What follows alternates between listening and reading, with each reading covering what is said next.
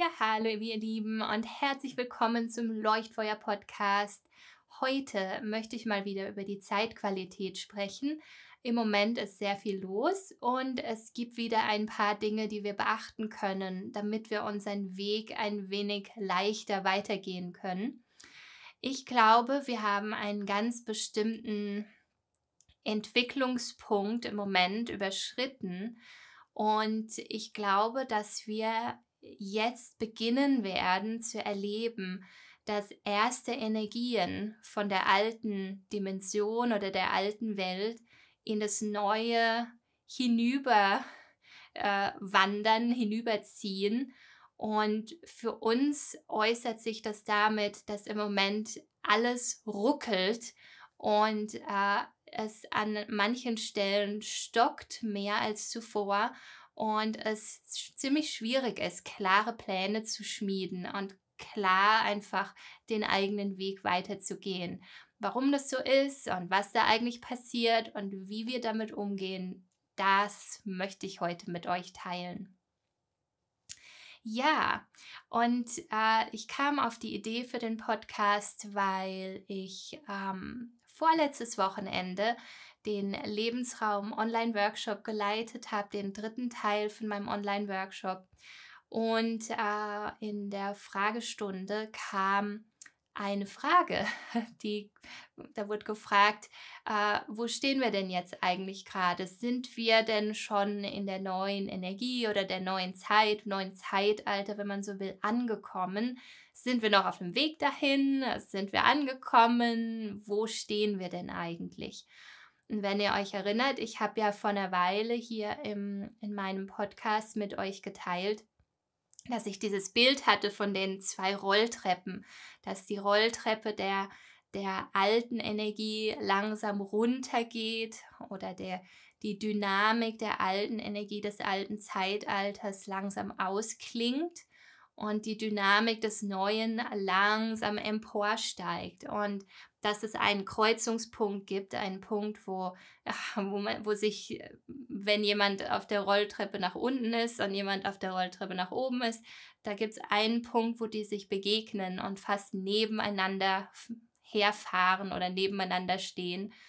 Und mein Gefühl war die letzten zwei Jahre mit all dem ganzen Drama, was wir erlebt haben, das war diese Zeit, wo das Alte und das Neue ganz stark in so einer disharmonischen Resonanz waren, wo man auch das Gefühl hatte, das Alte beeinflusst das Neue oder das Neue äh, wird beängstigt vom Alten und es gab so eine Hin und Her und auch so ein Gefühl, als wäre das beides sehr nahe zusammen. mein Gefühl ist, dass wir über diesen Punkt jetzt schon hinaus sind. Das heißt, dass wir jetzt erleben, dass die Dynamik in unserem Leben, die ins Neue strebt, in unserem Körper, in unseren Beziehungen, in unserem Beruf, in unseren Familien, die Dynamik, die ins Neue strebt, die hebt sich langsam über das Alte hinaus.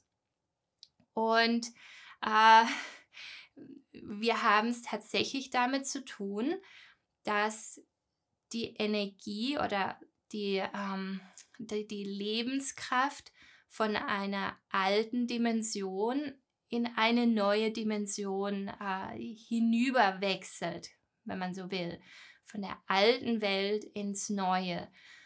Und das ist nicht ein linearer Weg. Das ist nicht einfach, oh, ich laufe meinen Gartenweg entlang und ich laufe einfach von, von der einen Seite des Gartens zur anderen Seite. Das wäre ein linearer Weg von A nach B.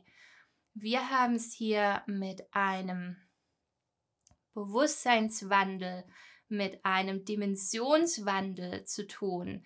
Äh, das ist vor allem auch ein innerer Weg. Also ein Beispiel dafür wäre, ich beginne diesen Weg damit, dass ich mich innerlich ganz isoliert und abgeschnitten fühle und meine Lebenskraft ganz unterdrückt ist und ich ganz irgendwo feststecke.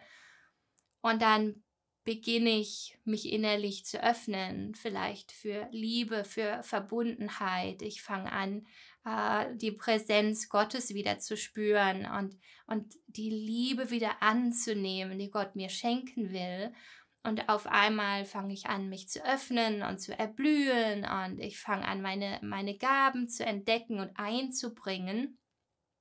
Und alles verwandelt sich. Ich verwandle mich und mein Leben um mich herum verwandelt sich und wie ich mit den Menschen in meinem Leben umgehe, verwandelt sich. Also es ist, es sind ganz viele Veränderungen, die da geschehen. Und man könnte sagen, ja, äh, du bist aber nicht von A nach B gegangen, äh, sondern du bist irgendwo von, von innen, von einem kleinen Punkt, äh, von einem kleinen Samenkorn hast du dich geöffnet und bist aufgeblüht und gewachsen in alle Richtungen. Alle Zweige haben sich entwickelt und Blätter bekommen und Blüten bekommen und Früchte bekommen. Ähm, das heißt, es ist mehr ein, ein multidimensionaler äh, Wachstums- und Veränderungsprozess. So, und das große Problem oder die große Herausforderung, die wir haben, ist, dass es eben kein linearer Weg ist und dass wir nicht mit dem alten Bewusstsein so einfach ins neue Bewusstsein rüberwechseln können und von dem einen Raum in den neuen Raum wechseln können. Wenn ich von äh, in meinem Haus, von der Küche zum Badezimmer gehe und ich mache die Türen auf und ich gehe vom einen Raum ins andere, brauche ich nicht meine innere Haltung zu verändern. Ich brauche nicht äh, zu meditieren oder meine innere Verbundenheit zu Gott zu stärken, sondern ich kann einfach so wie ich bin von einem Raum zum anderen gehen.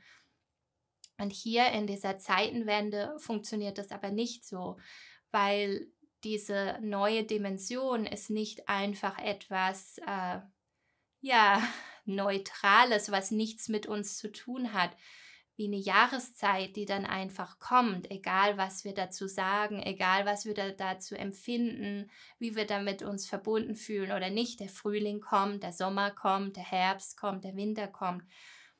Diese neue Dimension ist in allererster Linie auch eine neue Beziehung. Eine neue Beziehung zum Leben, eine neue Beziehung zu Gott, eine neue Beziehung zur Erde, eine neue Beziehung zu unserer Seele, zu uns selbst, zu anderen Menschen. Und das ist, hat ganz viel mit unserer inneren persönlichen Einstellung zu tun, mit uns selbst zu tun. Und von daher ist es im Moment so, dass alles langsam, langsam in diesen Sog kommt oder diese, diesen Einflussbereich des Neuen. Wir kommen dem Neuen näher, wir, wir kommen an diese Schwelle zwischen der alten Dimension und der neuen. Und alles in uns muss dann darauf irgendwie reagieren. Und äh, wie wir darauf reagieren, wie offen wir für das Neue sind, wie gut wir uns vorbereitet haben, wie vertrauensvoll wir uns einlassen, entscheidet darüber, wie einfach oder wie schwierig, wie schnell oder wie, wie zäh, äh, wie sanft oder wie plötzlich und ruckartig dieser Übergang geschieht.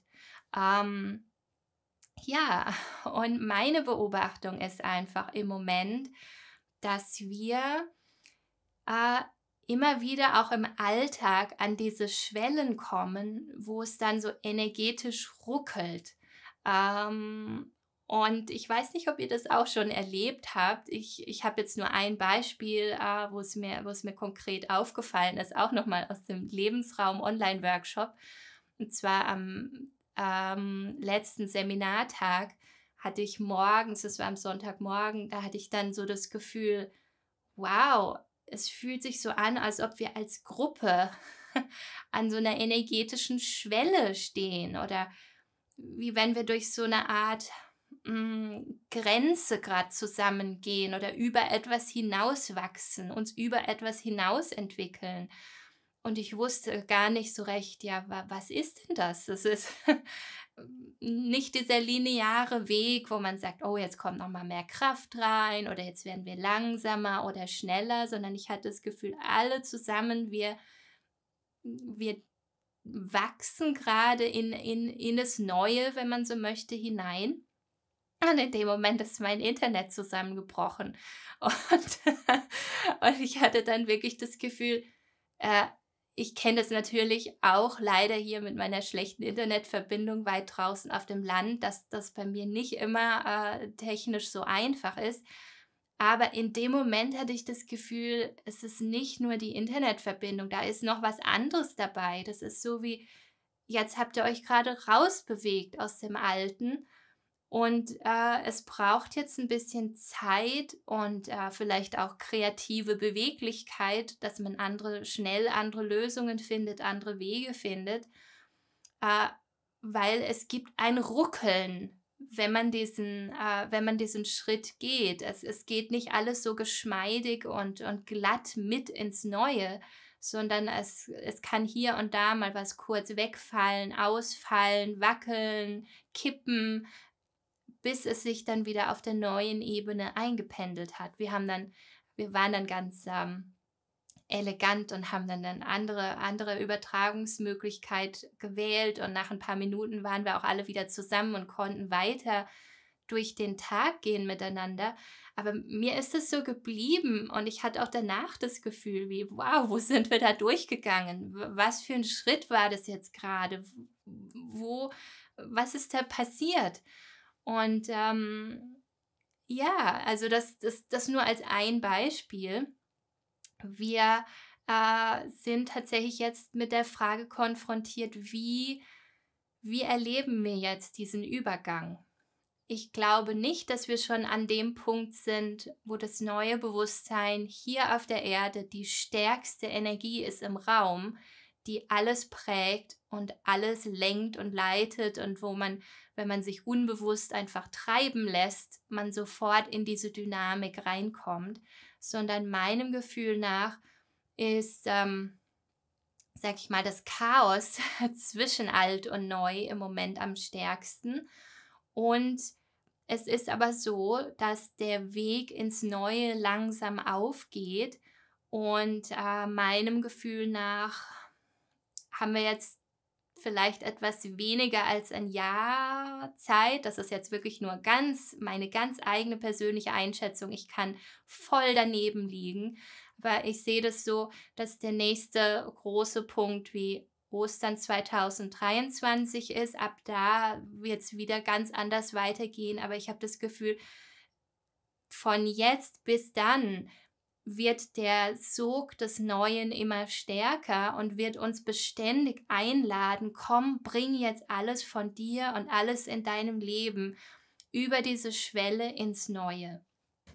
Und weil, äh, weil wir ähm, einen möglichst sanften Übergang wollen, oder ich möchte das zumindest in meinem Leben, möchte ich euch heute ein bisschen darüber erklären, wie funktioniert denn dieser Übergang und wie funktioniert der Übergang besonders sanft? Wie können wir das schaffen, dass wir auch mit diesem Ruckeln möglichst gut umgehen, mit diesen kurzen Momenten, wo Sachen dann nicht so weitergehen, wie wir uns das wünschen oder wie wir es erwartet haben. Genau. So, und ihr wisst ja, dass ich mich sehr gerne mit Gott verbinde und äh, ich weiß, dass ich dieses Wort auch jetzt immer öfter verwende und äh, ich weiß, es ist für einige von euch ganz leicht, es äh, zu, zu verstehen, was ich damit meine. Und für andere von euch ist es vielleicht schwierig. Vor allem, wenn jemand von euch ganz, ganz negative Erfahrungen mit diesem Wort gemacht hat und ihr erlebt habt, dass Leute euch verletzt, dass Menschen euch verletzt haben, dass Menschen euch äh, unterdrückt oder bedroht oder missbraucht haben und den, den Namen Gottes sozusagen als Deckmäntelchen dafür verwendet haben. Äh, und äh, daher möchte ich immer wieder auch erklären, was ich damit meine und euch ruhig auch ermutigen, wenn dieses eine Wort für euch schwierig ist, zu gucken, ob ihr euren inneren seelischen Übersetzer äh, verwenden könnt und ein anderes Wort finden könnt. Ich habe lange Zeit nicht von Gott äh, ähm, den Namen Gottes nicht gen gen genannt, sondern ich habe immer von der Liebe gesprochen, der Liebe, äh, der Liebe Gottes. Aber ich habe es leichter gefunden äh, und gemerkt, dass es mir leichter gefallen ist. Und mit der Zeit habe ich mich da rein entwickelt und du kannst für dich mit den Worten einfach spielen und schauen, was besser passt. Auf jeden Fall finde ich es immer wichtig zu wissen für mich, dass diese Entwicklung hier auf der Erde nicht aus dem Nichts heraus entsteht, sondern dass die, die Erde, die Menschen, die Tiere, die Pflanzen, alles, was ist, wirklich in Gottes Hand ist und dass Gott uns vorbereitet hat äh, und äh, uns angekündigt hat. Ähm, vor 2000 Jahren, äh, Christus ist, hat die meiste Zeit wirklich damit verbracht, über den Übergang ins Neue zu sprechen, über die Endzeit zu sprechen, über das Neue, was kommt, das neue Königreich Gottes, die neue Zeit. Und äh, gesagt, das, was ich jetzt mache, das ist nur so eine Art Vorschau, nur so eine Art kleiner Anfang. Ihr werdet da alle reinwachsen, das ist alle, alles auch in euch und ihr werdet, ihr sollt euch darauf vorbereiten, ihr sollt euch da dafür öffnen und das wird sich jetzt durch die Erde durcharbeiten und dann irgendwann ist es reif und dann geht es ganz schnell.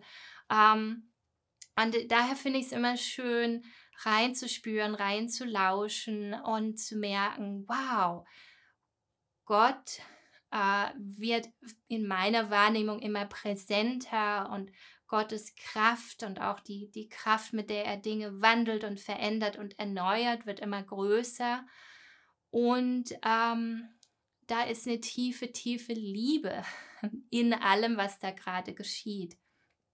Für mich, ich würde, glaube ich, ganz viel Angst haben, ganz viel Terror vor diesem ganzen Übergangsprozess, wenn ich ähm, nicht das Gefühl hätte, Gottes Herz zu spüren und Gottes Liebe wahrzunehmen und zu spüren, was Gott wichtig ist und was Gott will.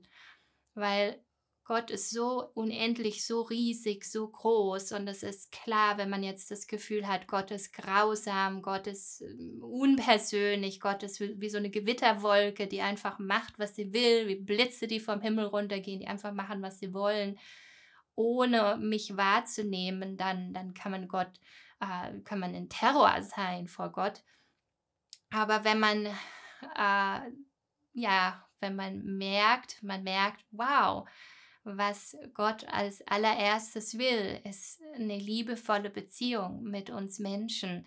Und das ist tatsächlich das, das aller, allererste, was, was Gott will, ist diese liebevolle Beziehung und dass wir in dieser liebevollen Nähe und diesem Austausch, in diesem Dialog mit ihm sind dass wir ihn fragen, dass wir ihn hören, dass wir mit ihm atmen, dass wir äh, mit ihm auf die Schöpfung schauen, dass wir, dass wir uns mit ihm, mit seiner Hilfe entfalten und unser volles Potenzial einbringen, dass wir heilen, dass wir gedeihen, dass wir wachsen, dass wir werden.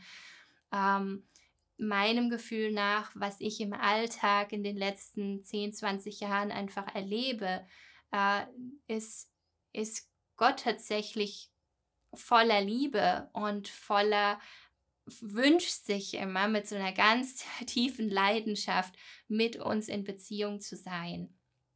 Gott könnte innerhalb von einer Sekunde die Dimension hier auf der Erde äh, ver verwandeln. Gott könnte die Erde nehmen und äh, rumschütteln und, und alles irgendwie neu zusammenwürfeln ohne auf uns Menschen zu achten. Äh, er könnte uns einfach wegfegen von der Erde und komplett neu beginnen. Aber da ist eine Liebe da, eine, eine Beziehung da, die sagt, ich möchte es mit euch machen. Ich möchte mit euch ins Neue gehen und ich will, dass ihr das mit mir erlebt und dass ihr euch dafür öffnet und dass ihr merkt, das ist ein Geschenk. Das ist ein Geschenk, was ich euch schenken möchte. Und ich möchte, dass es was Bewusstes ist.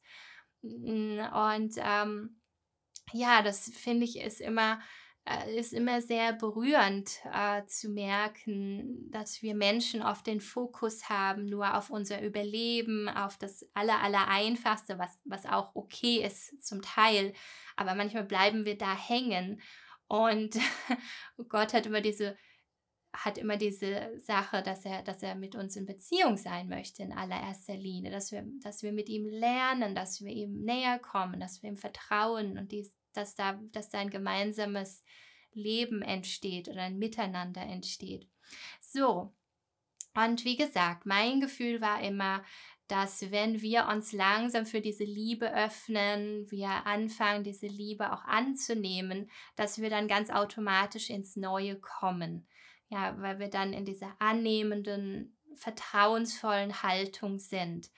Und mein Gefühl war auch, wenn Menschen sich mit aller Macht äh, am Alten festhalten, also am alten Bewusstsein, damit meine ich, der Mensch will alles selbst kontrollieren, der Mensch will nichts annehmen, sondern will nur selber die Machtposition ausüben, will gewaltvoll sein, will alles kontrollieren, will alles an sich reißen, will gierig alles äh, ausbeuten, dann äh, sperrt er sich selbst gegen das Neue.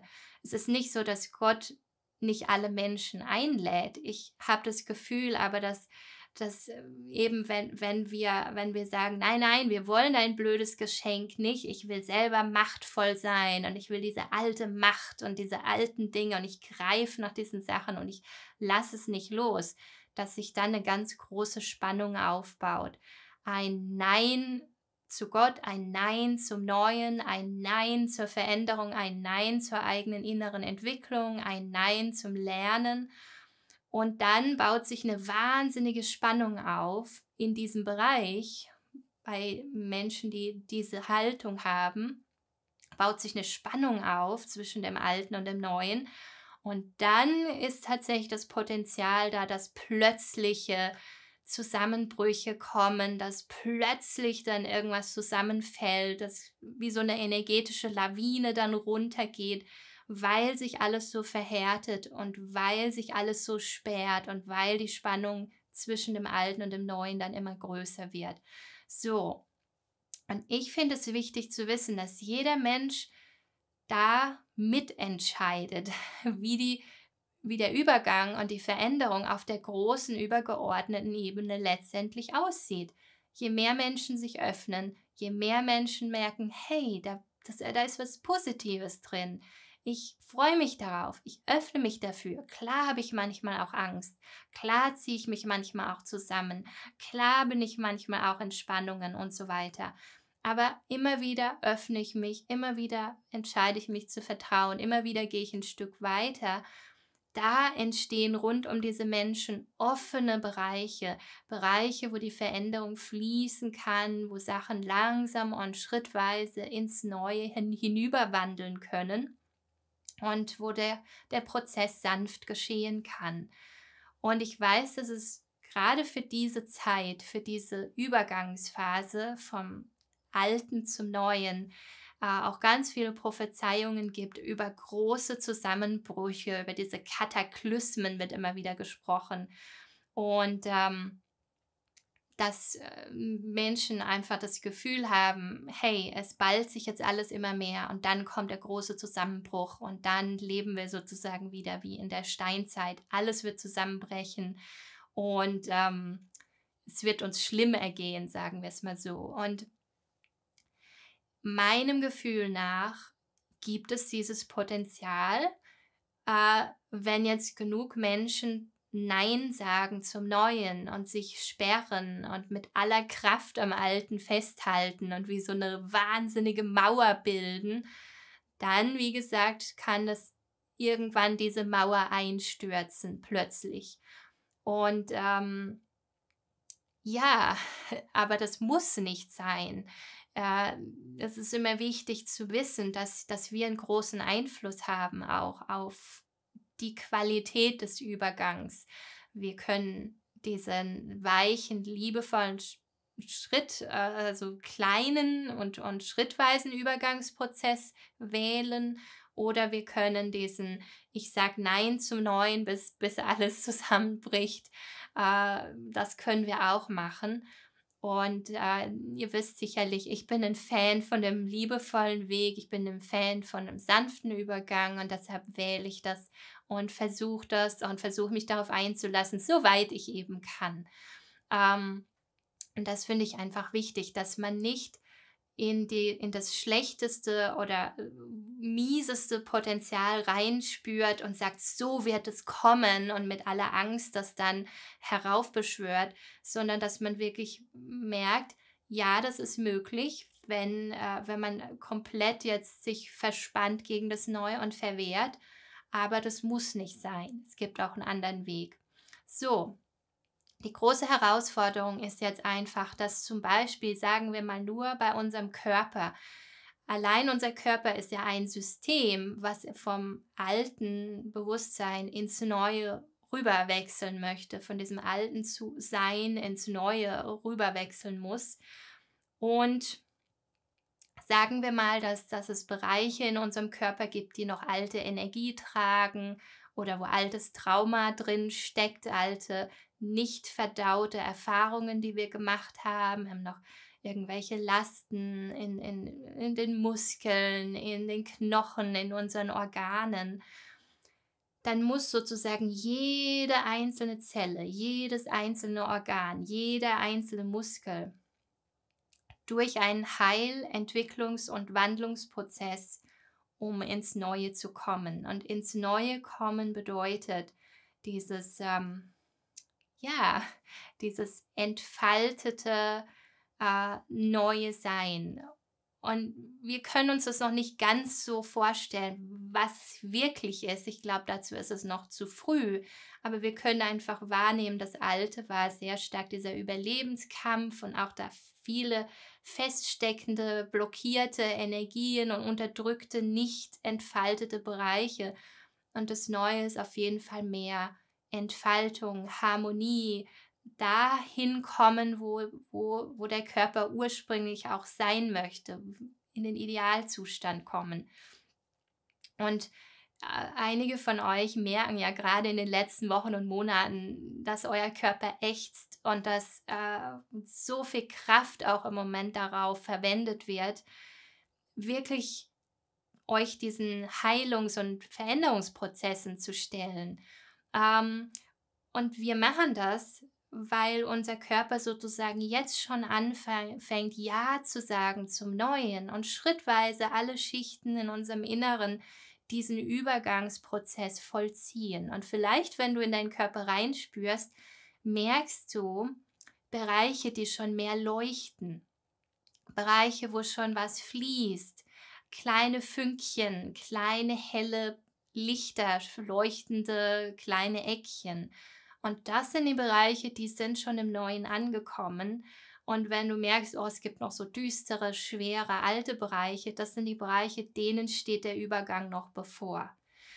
Weil Gott sich wünscht, dass unser Körper mitgeht ins Neue, dass, dass wir Menschen mitgehen können ins Neue, äh, lädt er uns zu diesem schrittweisen Übergang ein weil es bei diesem Übergang ein Ruckeln gibt oder eine Herausforderung gibt oder einen Moment, wo dieser Bereich, der jetzt ins Neue geht, nicht leistungsfähig ist, weil er vollkommen eingenommen ist und, und herausgefordert wird mit dem Übergang.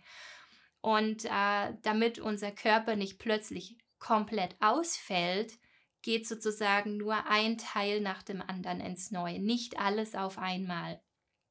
Deshalb äh, sind wir jetzt auch eingeladen, als, als bewusste Menschen jetzt schon ins Neue rüber zu wandern und Teile von unserem Leben ins Neue äh, rüberwandern zu lassen, damit dann nicht ein großer Schlag kommt, wo alles auf einmal ins Neue wechseln muss und wir dann monatelang einfach nur vollkommen äh, erschöpft da sitzen und gar nichts mehr machen können und nichts mehr funktioniert, sondern äh, es, soll, es soll sozusagen ein langsamer, schrittweiser Übergang sein. Und dann merkst du eben mal, oh, jetzt ist es im Beruf gerade ein bisschen, jetzt ist da nicht so leicht und dann ist es mal wieder in der Beziehung und dann ist es mehr der Körper und dann ist es mehr dein Zuhause und es muss nicht alles auf einmal äh, kommen und ruckeln, sondern nach und nach darf alles diesen Übergang vollziehen. So, und äh, ja, ich glaube, das ist eine sehr, schöne, eine sehr schöne Perspektive und vielleicht entdeckt ihr ja dieses energetische Ruckeln auch bei euch, in eurem Leben, bei den Projekten, die ihr plant. Und äh, mir geht es einfach so, dass ich früher oft äh, ja, diese alten Bahnen für meine Schöpfungen genutzt habe und dann auch einschätzen konnte, ah, da geht's lang, das möchte ich erreichen, da alle Kraft voraus.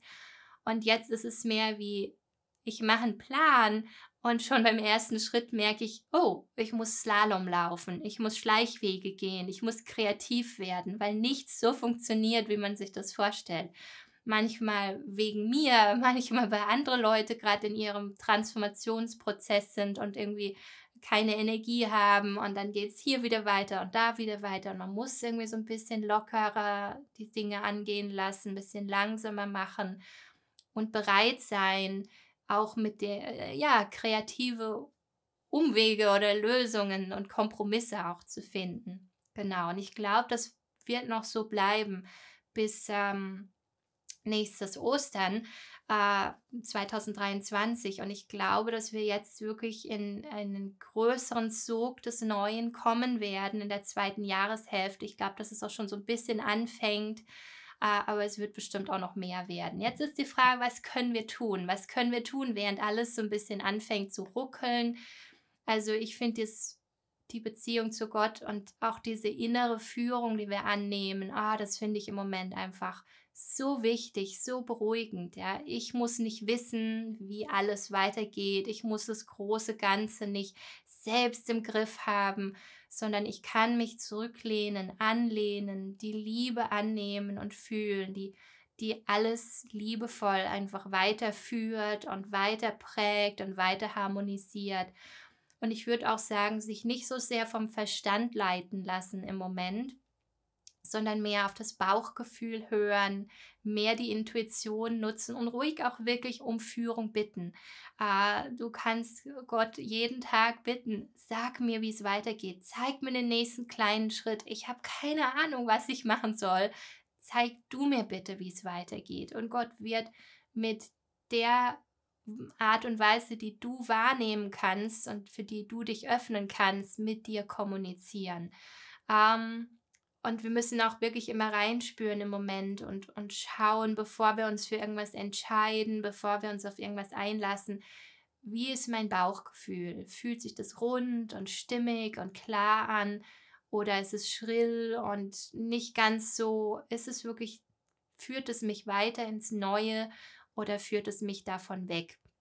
Und im Moment ist, glaube ich, wichtig, dass wir nur die Sachen machen, die uns wirklich weiter ins Neue reinführen. So, mein zweiter Tipp ist tägliches Verbinden mit der neuen Erde, mit dem Neuen in Verbindung gehen. So wichtig, weil es ist einfach noch nicht komplett da, aber wir brauchen für unsere innere Orientierung immer wieder die Verbindung dazu. Wir können das ganz konkret machen, indem wir uns mit der Erde verbinden, nach unten hin und wirklich wahrnehmen, ich verbinde mich mit der neuen Erde. Während dem Seminar habe ich immer wieder gesagt, wir stecken unseren Stecker in die neue Erde, in die Steckdose der neuen Erde. Wir verbinden uns nicht da, wo Sachen jetzt zu Ende gehen und sich auflösen und keine Energie mehr da ist, sondern wir verbinden uns mit dem Neuen, wo frische Kraft da ist, wo die Heilung wirklich auch von unten aus der Erde kommt, uns erfrischt, uns durchströmt, damit verbinden wir uns. Und äh, wir können auch immer wieder uns mit der neuen Erde verbinden und allgemein uns erlauben, das Neue wahrzunehmen. Dein neues Selbst, das neue Leben, das neue Miteinander, neue Energien, neue Erfindungen, neue Schöpfungen, Neues einfach neues, liebevolles Sein wahrnehmen. Das zieht uns auch ein bisschen mit nach vorne. Das hilft uns auch mehr und mehr die Angst zu verlieren. Und mein dritter Tipp, wo ich auch ganz persönlich etwas habe, was, was mich damit verbindet, ist tatsächlich auch, sich mit anderen Menschen zu verbinden im Alltag, die auf diesem Weg ins Neue sind, die bewusst auf diesem Weg ins Neue sind. Es gibt bestimmt viele, viele Menschen, die sich für das Neue öffnen und auch auf das Neue vorbereiten ohne sich dessen bewusst zu sein, ohne darüber nachzudenken, ohne darüber zu reden. Aber es ist schon wichtig für uns, wenn wir bewusst diesen Weg gehen und auch auf diesem Weg ganz bewusst sind, dass wir im Alltag teilen können, wie sich das anfühlt, auch über die tiefsten Ängste sprechen können, äh, die, die Herausforderungen gemeinsam angehen können und uns immer wieder verbinden, immer wieder sprechen können oder wahrnehmen können. Es gibt andere Menschen, die sind auch auf diesem Weg. Wir, wir öffnen uns gemeinsam dafür. Und das war vor vielen, vielen Jahren ein Impuls, der da bei mir angeklopft hat, wo ich richtig gespürt habe, ähm, das kennt ihr vielleicht auch, dass, dass Gott mir so auf die Schulter klopft und sagt, hey Lea, äh, du sollst den Raum öffnen, du sollst den Raum erschaffen, einen Raum für erwachende Menschen, einen Raum für Menschen, die sich auf das Neue vorbereiten, die lernen wollen, äh, Liebe anzunehmen, in diese tiefe, tiefe Verbundenheit zu kommen, die lernen wollen, wie äh, funktioniert das Leben aus der Liebe heraus? Was passiert, wenn wir nicht länger in diesem alten Bewusstsein drin hängen, sondern uns ins Neue rein entwickeln? Wie entsteht ein liebevolles Miteinander, ein liebevoller Ausdruck unserer Bestimmung, äh, liebevolle Beziehung zur Erde, zu unserem Körper, zu unseren, äh, in, zu, in, unseren Beziehungen, in unserer Familie und so weiter. Ähm, ja, und dann habe ich die Oase ins Leben gerufen. Und äh, die ist jetzt wirklich schon einige Jahre begleitet sie uns und wächst immer weiter. Wir haben mit ganz wenigen Teilnehmern begonnen. Jetzt mittlerweile ist es immer so hm, zwischen 900 und 1000 äh, Leute sind in der Oase drin. Es erstaunt mich auch immer wieder. Natürlich sind nicht alle aktiv im Oasenforum, sondern die Oase ist ja auch viel mehr als nur ein Forum, wo wir uns austauschen, sondern da ist mein gebe ich euch mein ganzes Wissen weiter, alle Heilerfahrungen, alle mein Wissen zur Traumaheilung habe ich jetzt ganz neu äh, nochmal alles aufgenommen und euch eingebracht und ähm, ja, wöchentliche Webcasts, wir haben ein monatliches Zoom-Treffen, wir haben so viele Sachen, die, die einfach so das Miteinander auch stärken und einen immer wieder Halt geben. Und die Teilnehmer bestätigen immer wieder, dass es einfach für sie ein Anker ist auf dem Weg ins Neue, gerade wenn auch mal im persönlichen Leben die Wellen höher schlagen, dass man immer weiß, ich habe einen Ort, der mich immer wieder in die Liebe zurückführt und immer wieder einlädt, den nächsten kleinen Schritt zu machen. Und so meistern wir diesen Weg ins Neue. Ja, und die Oase öffnet für neue Teilnehmer am 13. Juni. Und wenn du Interesse hast, die Oase mal auszuprobieren, dann ist es vielleicht eine gute Gelegenheit, dir diesen Termin zu merken und dir zu überlegen, ob du ja einsteigen möchtest. Genau. So, dann wünsche ich dir jetzt erstmal einen wunderschönen Tag. Wie immer freue ich mich, wenn dir das Video gefallen hat oder die Audioaufnahme, dass du dir überlegst, ob du das mit deinen Freunden oder Bekannten teilen möchtest. Das ist immer das größte Geschenk für mich, wenn ihr den Podcast weiterleitet oder weiterempfehlt. Äh, wer Lust hat, mal auf iTunes mir eine Rückmeldung dazulassen, den Podcast zu äh, bewerten, das ist total hilfreich für mich. Und wenn du auf YouTube unterwegs bist, gib mir einen Daumen hoch und wenn du magst, abonniere meinen YouTube-Kanal. Alles, alles Liebe, bis dann.